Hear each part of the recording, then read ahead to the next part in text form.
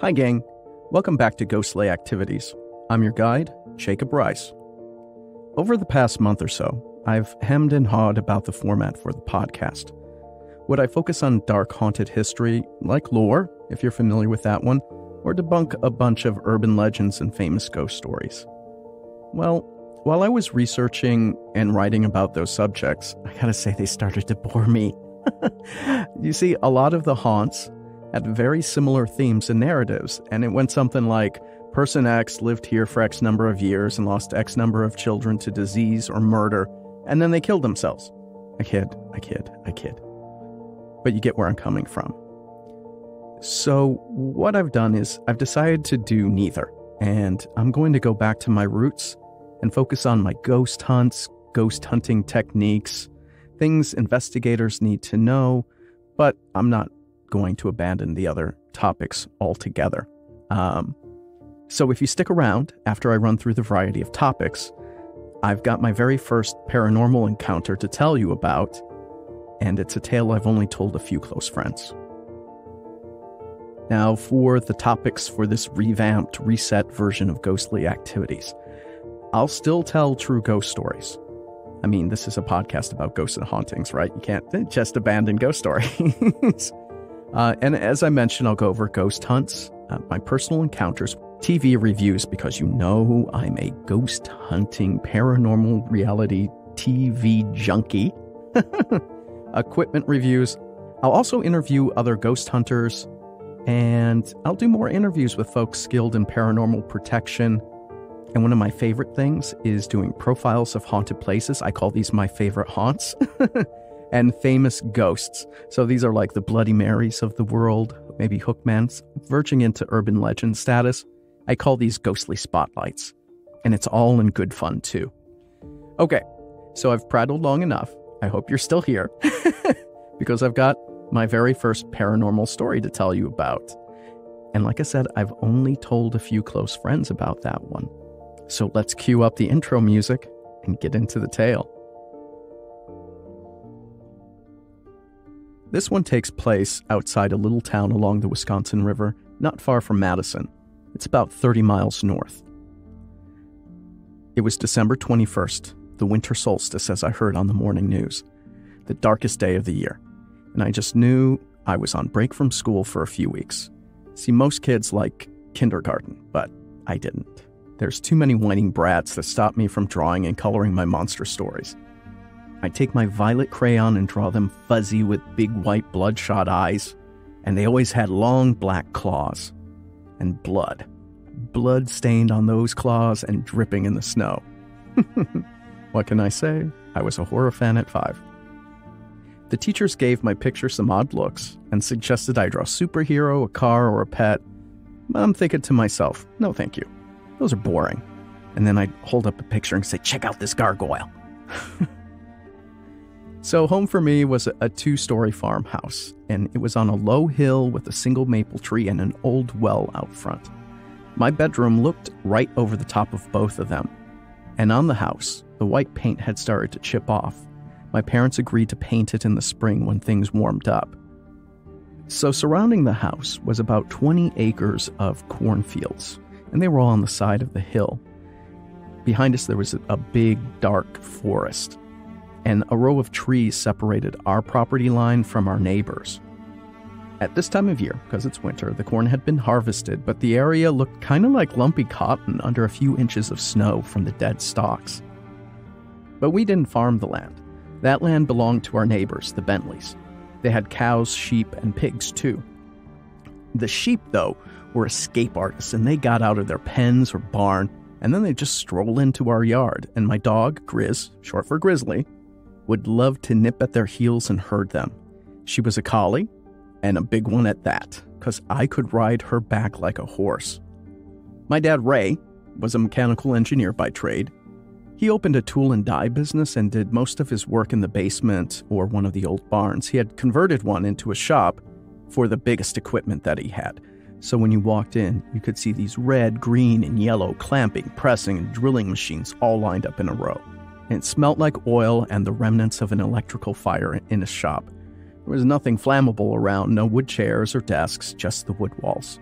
The concrete floor had black spots from the oil pools, and it reminded me of a Dalmatian's coat. The day started clear with a pale blue sky, and the sun looked white, it was so bright. Winter is so cold here that it pushes the clouds away. You're thankful when a snowstorm comes because it has to warm up. That morning, the weathermen said a blizzard approached and there could be as much as 18 inches of snow. So my mother, Bonnie, heard that and put down her coffee and cigarette. She was on the phone with my grandma. And groceries. Gotta get some groceries before the storm arrives. And this is an important thing to know about Wisconsin. There are a lot of little rural towns, and country roads don't get plowed often in winter. You put sand on the slick parts and you chain your tires for traction. Our road was a half mile long gravel driveway going up that low hill, a challenge for a plow to get through, and even more so for a car. And if you didn't stock up before the winter storm hit, you may not get to town for a week. So my mom put me and my two older brothers in the back of a green Ford station wagon, you know, the kind with the wood paneling on the sides, and Dayton myself. and this tank of a car got about eight miles to the gallon, but it had some hauling power, let me tell you. And we got to the Piggly Wiggly grocery store just fine, and it was packed with people too, getting food, coffee, milk, and batteries. You know, all the same stuff you'd see for a storm. But on the way home, the weather changed, and big fluffy flakes, like you see in Christmas movies, floated down from the sky. Bonnie had my older brother George help clear the windshield, and the flakes were sticky and wet. That meant the blizzard could have a lot of sleet, and it would be more like an ice storm. We lived about 15 minutes outside of town, a place called Sauk City, and the wind picked up as we left, and those big flakes splattered on the windshield. And my mom had the wipers cranked up, and they struggled to keep the glass clear. The car turned up the hill to the house, and Bonnie hit a slick spot. It caused the back end to fishtail, but she got it under control, and we inched up the hill. And I thought for sure we'd slip backwards.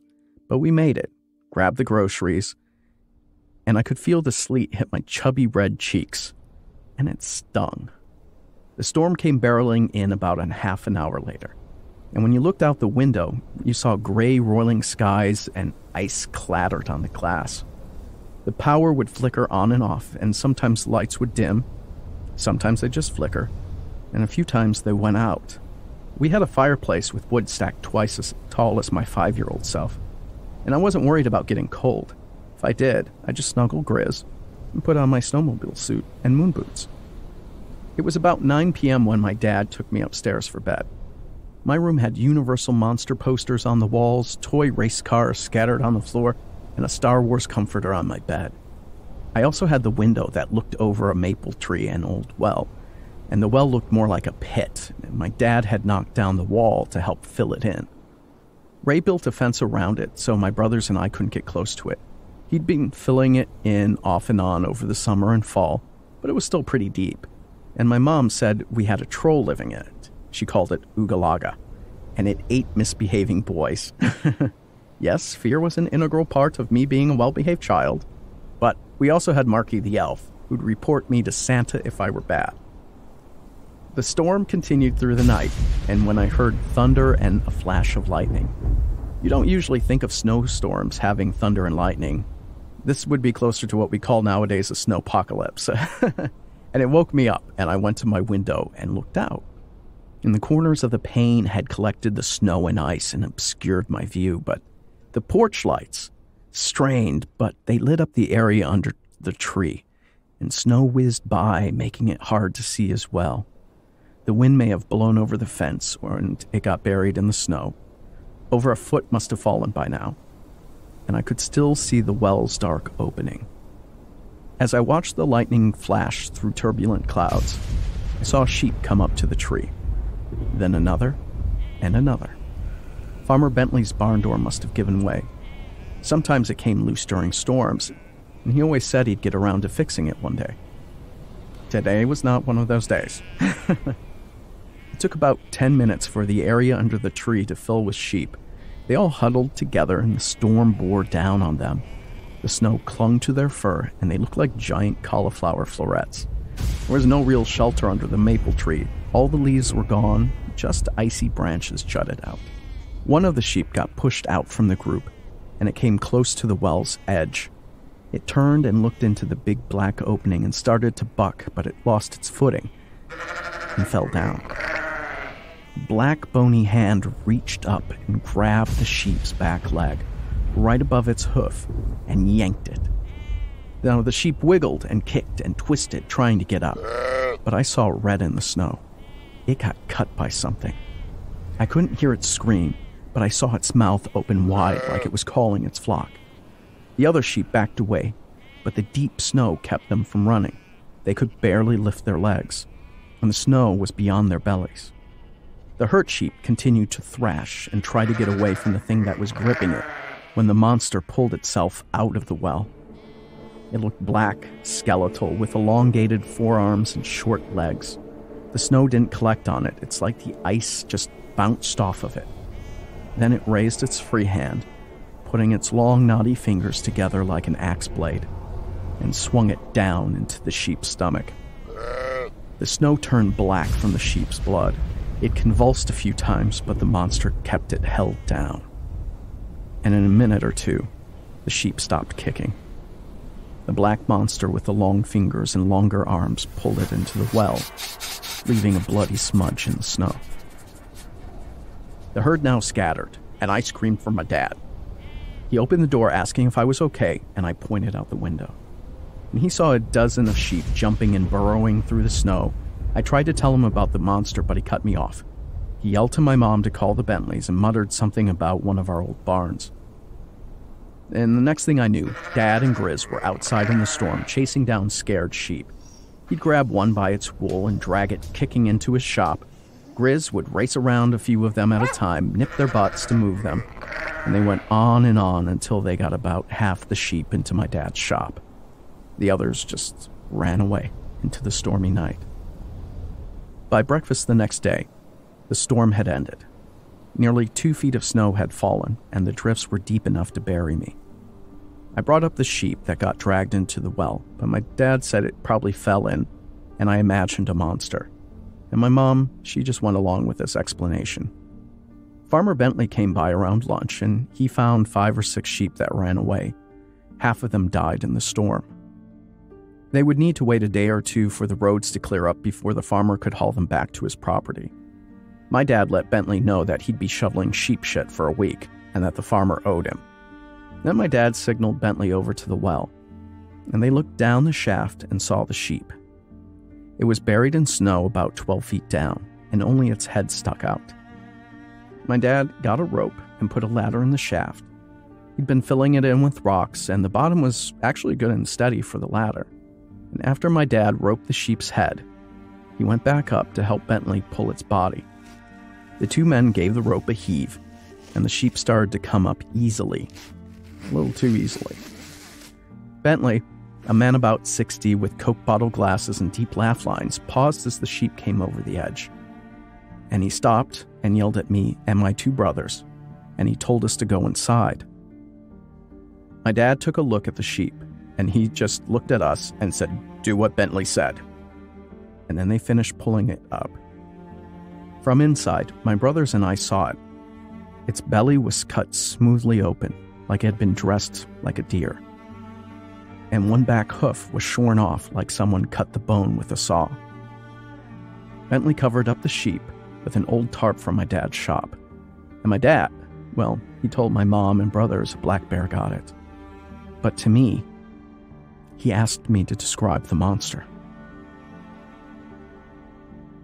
Thanks for listening to this episode of Ghostly Activities.